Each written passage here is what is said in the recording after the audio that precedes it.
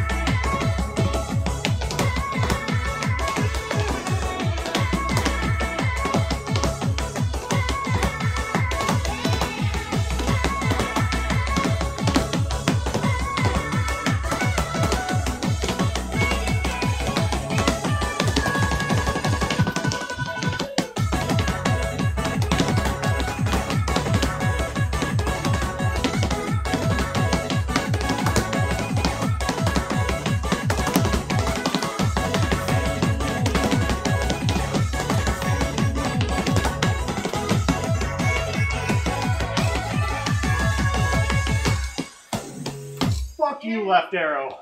Uh, honestly.